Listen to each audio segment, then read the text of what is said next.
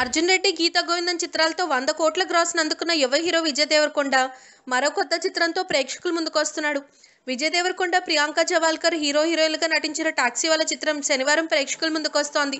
ఈ సినిమా రిలీజ్కి ముందు టాలీవుడ్ ప్రముఖులు విజయ్ దేవరకొండకు శుభాకాంక్షలు తెలియజేస్తున్నారు. కొన్ని రోజుల క్రితమే పోస్ట్ ప్రొడక్షన్ పనులు పూర్తి చేసుకున్న టాక్సీ వాళ్ళ చిత్రం. ఇప్పటికే ఆన్లైన్లో లీక్ అయిందన్న వార్తలతో చిత్ర బృందం డీలా పడిపోయింది. ముఖ్యంగా హీరో విజయ్ దేవరకొండ తన చిత్రాలన్నీ వరుసగా లీక్ అవుతుండడం పట్ల ఎంతో బాధను వ్యక్తం చేస్తున్నాడు. తన ఎదుగుదలను చూసి ఓర్వలేని వాళ్ళు ఇలాంటి చర్యలకు పాల్పడుతున్నారని తనను చూసి ఈర్చపడుతున్న వ్యక్తులే తనను అణగదొక్కాలని ప్రయత్నిస్తున్నారని విజయ్ భావిస్తున్నాడు. ఈ నేపథ్యంలో ఎవరు ఊహించని విధంగా Tollywood top hero Prabhas Taxiwaala చిత్రంపై రెస్పాండ్ అయ్యాడు. టాక్సీ వాళ్ళ చిత్రం ఘన విజయం సాధించాలని కోరుకుంటున్నట్టుగా ప్రభాస్ తెలిపాడు.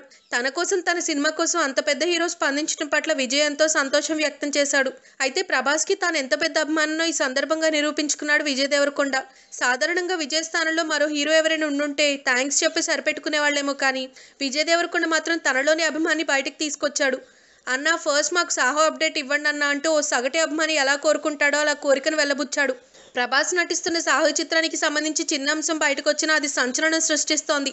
ఈ సినిమాపై సాధారణ ప్రేక్షకులకే కాదు ఇండస్ట్రీ ప్రముఖుల్లోనూ విపరీతమైన ఆసక్తి నెలకొంది. ఈ నేపథ్యంలో ప్రభాస్ ట్వీట్కి విజయ్ ఇచ్చిన రిప్లై విపరీతంగా హల్చల్ చేస్తోంది.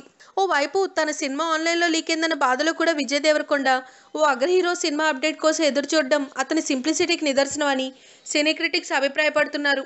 If you like the video please like us and subscribe Tollywood Nagar.